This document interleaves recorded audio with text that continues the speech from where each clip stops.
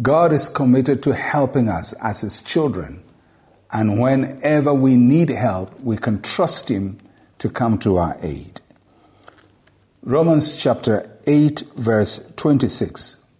Likewise, the Spirit also helps in our weaknesses, for we do not know what we should pray for as we ought. But the Spirit Himself makes intercession for us with groanings which cannot be uttered.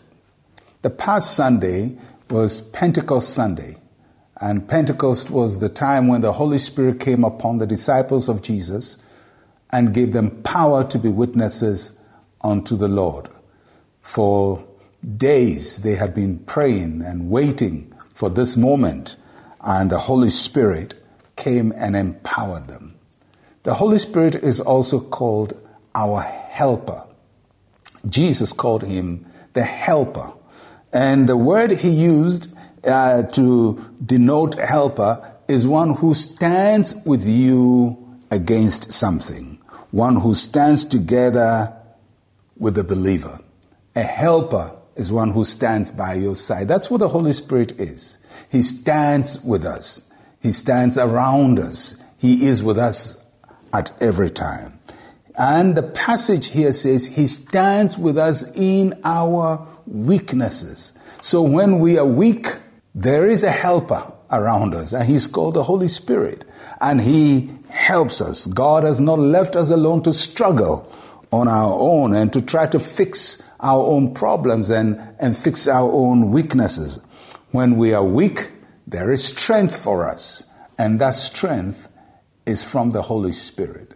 The good thing about the Holy Spirit is that He never takes a vacation. He never leaves and come later. He doesn't take a night off, doesn't take a week off. He is with us always. Jesus says He'll be with you always to the end of the age. So you have to be assured that at every point and every time in your life as a child of God, the Holy Spirit is present and He's present to help. And He helps us particularly in our prayer life. And when you look at the passage, it says, We don't know what we should pray for as we ought. And many times, you know, in life, you're, you're not really sure what you should pray for. Uh, you know what you want, but you don't know how to pray for it. And sometimes you don't even know what you want. And in those times of uncertainty, when we feel our prayer is inadequate, our prayer is not powerful enough, uh, we, we don't know the right words to say, that the Holy Spirit comes to our aid and He empowers us and He gives us the ability to express the innermost desires we have in the most appropriate way. The Holy Spirit helps us to pray.